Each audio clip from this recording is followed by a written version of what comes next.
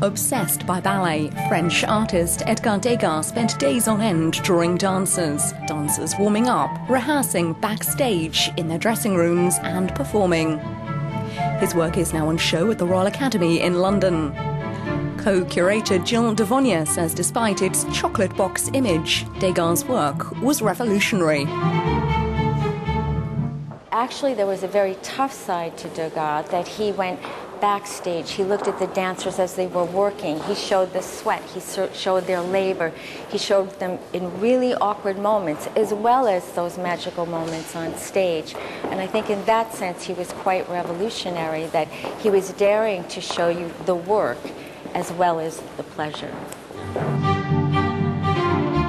The exhibition shows that Degas was an inventor as well as an artist, immersing himself in film and photography.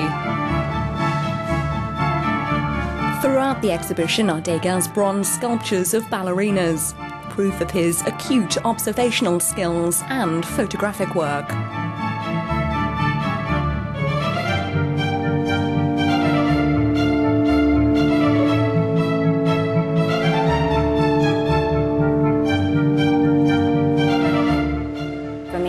What's so exciting in his paintings, what I've learned, is that he creates like a live performance within the paintings. They feel alive, and you can have this sense that he knew so much about the ballet technique and that he was so interested in that and what they were trying to perfect.